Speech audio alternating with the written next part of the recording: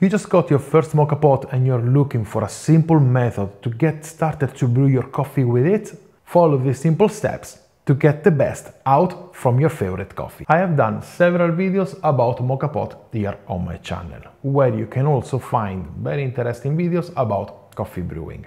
But if you are a beginner, this is a video for you. Now let's make some coffee. In this video I'm using a Bialetti 3 cups, but if you have another moka pot, it's fine, you can use this method with that. Now, the first thing you need, it's the coffee. I usually suggest to use fresh roasted whole beans, but to begin with, packed roasted ground coffee is fine. The positive thing of it is that it's already ground, so you just need to scoop the coffee in the basket. Also very probably that coffee has been ground with a professional grinder, so the grinding quality is definitely superior to a cheap grinder. The negative side of packed ground coffee is that you cannot change the grind size, so if it's too coarse or too fine, you cannot change that. And also the quality will decrease faster than when you have whole beans. But if you are at the beginning of your home brewing coffee journey and you don't have a grinder at home, I suggest you to get the coffee from the store,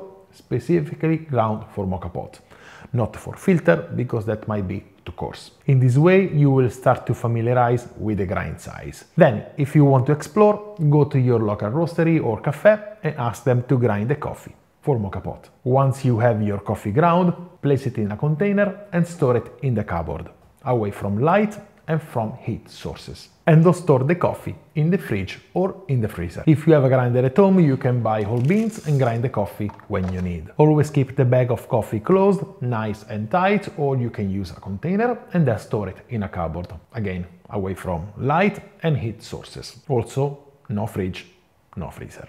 Now that you have your coffee ground, let's place it in the basket. Take the basket and place it on top of the upper part of the moka pot to keep it steady. Now take a teaspoon and start to put the coffee inside. When you reach halfway, take the basket and gently tap the coffee on the side with a finger. A little tap on the counter and then place it back on the upper part. Fill the basket with the coffee until it's full. Now take the basket again, gently tap on the side with a finger like this. Now you see the coffee leveled and distributed well. Now give a tap on the counter and it's done. Okay, now we put this on the side and we go to the next step, placing the water in the boiler.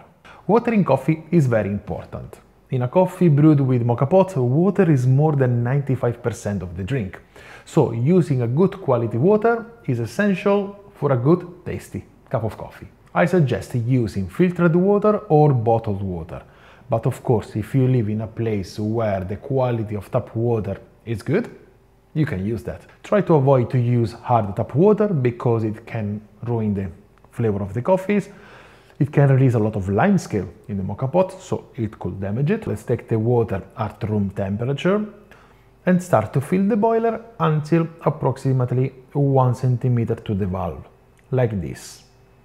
Water should never go over the valve for safety reason, but if you keep the level of the water just 1 centimeter below, you will achieve a better coffee. Once the water is done, we place the basket with the coffee we already prepared before.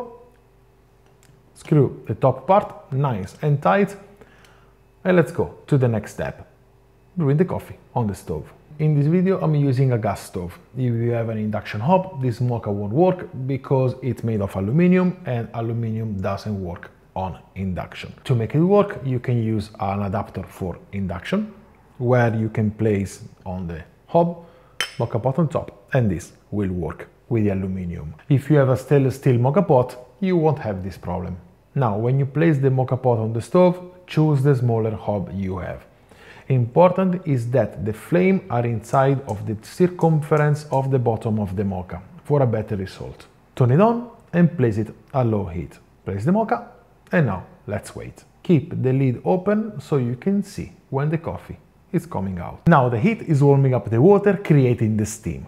This steam creates the pressure that will push the water up, extracting the solids from the coffee in the basket until reaching the top of the chimney and falling down into the upper chamber where the coffee is collected. When the coffee starts to come out, it should be like this, nice and steady.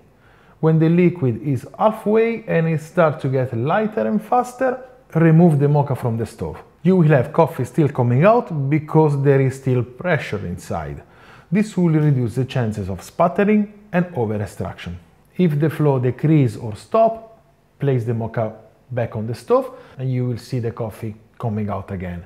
But when you see coming out like this, bubbling with steam, that means that the coffee is ready. If you're going to drink all the coffee from the moka, you can just pour it in your cup. But if you're going to split the coffee in multiple cups, I suggest you to stir the coffee with a teaspoon to mix the coffee well before pouring it. Now, the last step is to enjoy the coffee the way you like.